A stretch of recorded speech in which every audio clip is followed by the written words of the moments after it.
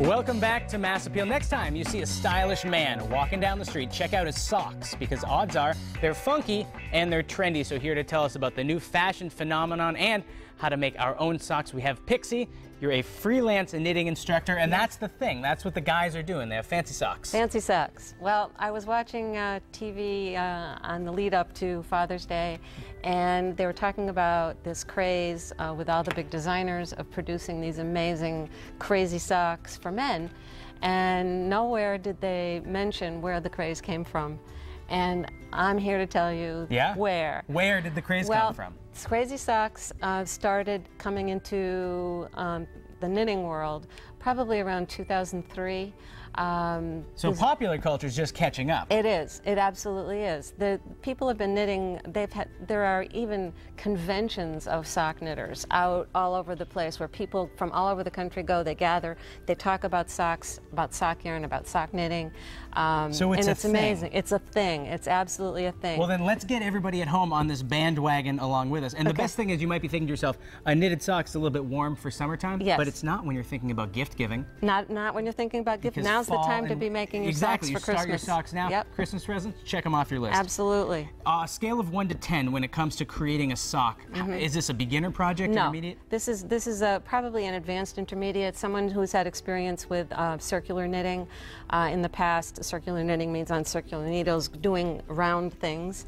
So this is Um, our circular needle. That's a circular needle, exactly. now, if we are. Building, if we're building the bottom of the sock, this is the calf area of the sock. Yep. How does one get started? Well, you start up here, um, Okay. and you do what's called a cast on, which means you you do this little um, this little technique that allows you to put the stitches on the needle. So you start with that, and once you have those stitches on the needle, then you knit around. And you begin going down. Yeah, you So actually are knitting it like a tube.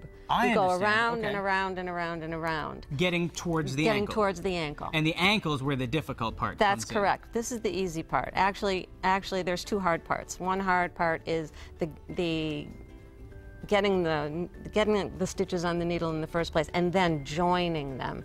The join is really tough, um, and knitting around for about an inch or so is a little tough because you're working with very tiny needles in a very tiny yarn in very tiny space. Yep. Um, Once and people it are- takes a little dexterity to do that. Once people are up to speed, uh, you know, the length of this sock, how long might it take to do? Um, well, it depends on, you know, Your how- knitting ability? Your knitting ability, how fast, how much time you have to devote to it. If I was going to knit a sock and I just wanted to sit down and knit the sock, I could probably get this much done in in a in a day, maybe an afternoon. Oh, okay, it's you not know. so bad. Not so bad. And you not can so bring bad. it with you. We were talking earlier because I take it with me everywhere. everybody has their cell phones out Yeah. and, and they play their, their Not me. games. Not No. you. You bring a sock. I bring a sock. I bring whatever I have on the needles. That comes with me no matter where I go.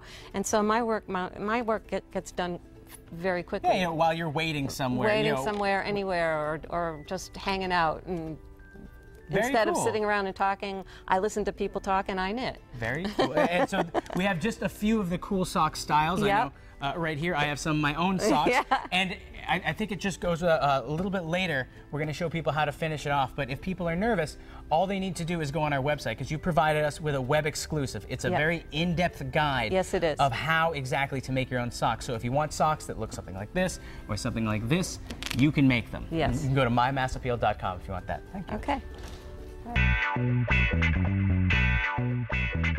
Back with Pixie, she's a freelance knitting instructor. We're making socks. Now, earlier in the show, we made the top part of the sock. Yeah, we talked about that. And, yeah. and this is a, rel- a relatively complex thing that we're doing today. It's, you said intermediate to advanced. Yep. So if you go on our website, mymassappeal.com, you've given us this great worksheet. Nice worksheet. Step nice by step, Yep. so you can do it on your own. So, Pixie, what I want to talk about those these because you say Yeah. there's there's fraternal socks and then there's uh, Uh, other. fraternal twin socks and identical twin socks. Now, what do those mean, and, and Okay. how are they represented What that here? means is that, for example, these socks Mm-hmm. and the ones over there came from the same ball of yarn, but they play out differently. Um, because you just, I just let the, I let the yarn do what it does. Um, some people are a little pickier than I am, and they'll make it come out right by cutting the yarn in certain places. But I just don't. I Oh, think that's no. a waste of yarn. Yeah, I the yarn that. wants what the yarn wants. Right, and I think they come out really funkier.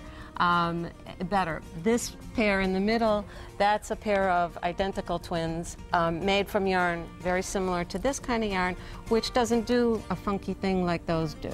It just is a nice plain, maybe a little bit variegated uh, yarn. And so these are going to be identical twin socks. What do you love about the knitting that you do? It, it seems like you, you just have such a passion. What is it that you love about it? I just love the feel of the yarn. I love seeing what happens once you get them, get the yarn on the needles. I love the figuring out of the of the harder techniques. I just, it's really good for the head. It's, it's, it's my brand of yoga.